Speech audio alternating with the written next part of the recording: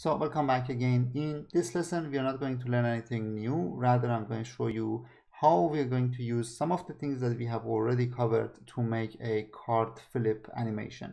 By card flip, I mean that you tap on an object, it flips back, and on the back of it, you see something else. So to do that, we have to use two animations. One is to squeeze the object to the center that feels like it is flipping and then scale it back up in that moment when the object is squeezed we have to change the content of it and when we uh, scale it back up we see the new content on it. Let's see how we're going to accomplish all of these things. I'm going to head into android studio. I'm going to actually call this new application card flip animation. And let me get myself the right you know, formatting in here. Finish that now, the very first thing that we want to be doing is we want to actually head into our activity and we want to make our card. Uh, very similar to what we have been doing uh, over and over in this section. I'm going to call this one, uh, you know, uh, I'm going to make it of type view. I'm going to give it an ID. The ID for it is going to be,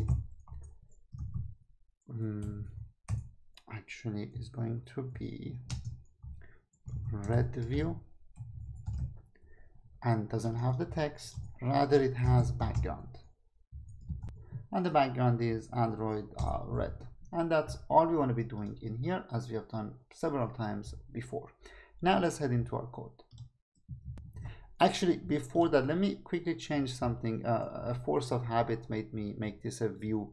Uh, rather I actually want this to be a text view simply because I want to be able to see which side of it is the front and which side of it is the back. So I'm going to say the text of this says uh, front and uh, that's, you know, that's good. So it says front.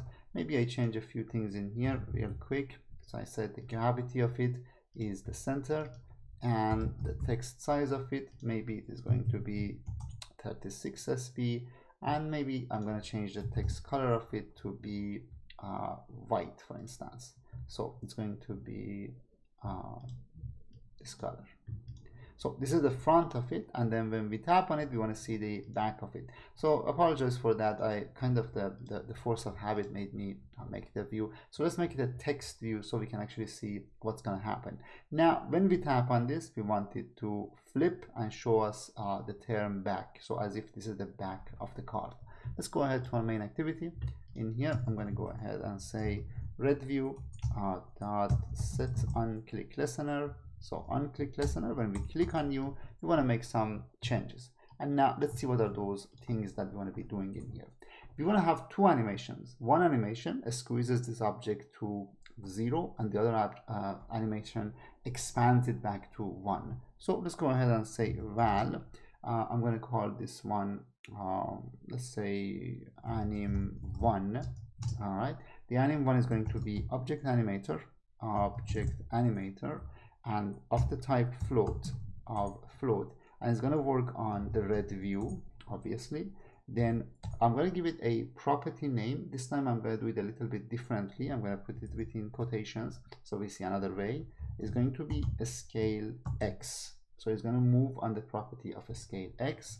Then it's going to go ahead and say go from 1 to 0 so basically scale it on X from whatever is to completely uh, finished, to completely zero value.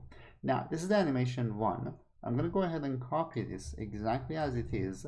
I'm going to call this one animation 2 on the scale of x it basically is going to be going from 0 to 1 this time so one of them squeezes it from 1 to 0 the other one expands it back from 0 to 1 and that's you know pretty much you know all we have to do for having two new animations. Then I'm going to choose the interpolator for these two.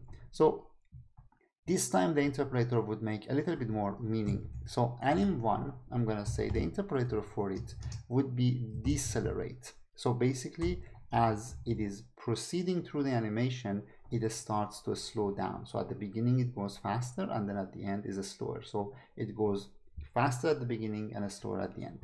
Anim2, however, the interpolator of it, I'm going to make it the opposite of this. I'm going to make it an acceleration interpolator, which basically means at the beginning it slows and then it, it becomes faster.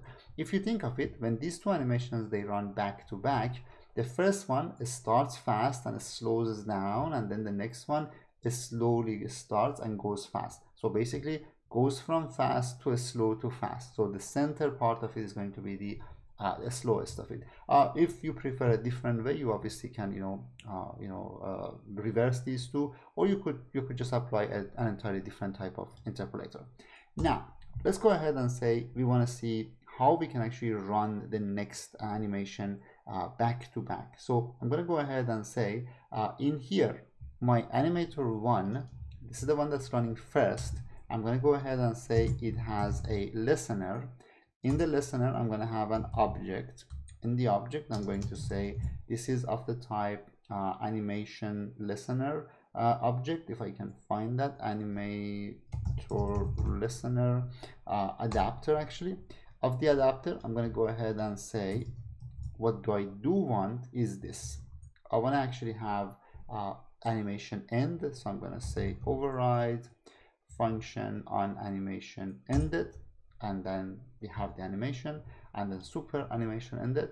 And then what I wanted to happen is this. When the animation ended it means this part has ended. So our object has now been scaled down to be zero right in that moment say redview dot text becomes back.